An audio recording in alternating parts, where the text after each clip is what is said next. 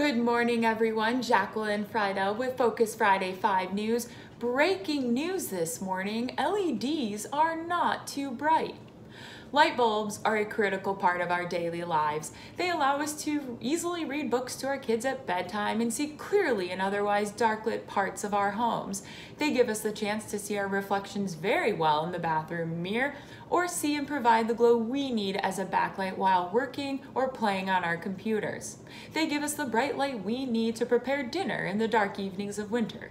They even allow us to provide a warm light for a pet that might not like being home alone in the dark. But light bulbs haven't always been so versatile.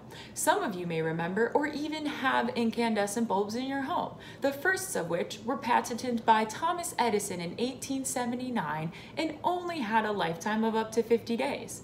The ones you can purchase today can come in a range of color temperatures and are dimmable, but they still don't last very long with an average 1200 hours and aren't energy efficient with 90% of the energy generating heat instead of light. Compact fluorescent light bulbs or CFLs are another light bulb type you may choose or currently have in your home. Today, CFLs do last longer than your average incandescent bulb with an average lifetime of 10,000 hours, now LED bulbs. Maybe you purchased your first LED sometime in the last 20 years and it took some getting used to because they were too bright white or uncomfortable to the eye. Today, we know LEDs come in a variety of shapes, sizes, and colors. They are dimmable, so you can adjust the color according to your preferences. You can purchase light bulbs with frosted covers instead of clear covers to soften the light and reduce glare on shiny surfaces in your home like countertops and tables.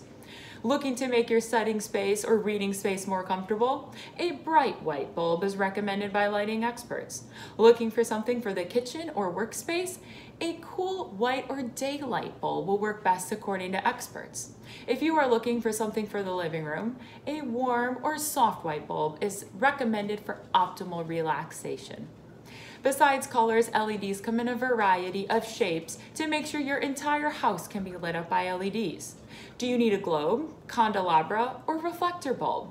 Those too come in variations in color so that neither you nor your housemates live in an uncomfortable environment. Lighting manufacturers tell us LEDs last 25,000 hours and certain LEDs are Energy Star certified, meaning they have been tested to meet strict quality and efficiency standards. We've heard from local sources that over 800 discounted Energy Star certified LED light bulbs can be found at participating retailers near you. You can go online to the Focus on Energy Find a Retailer tool to find a store that carries discounted LEDs.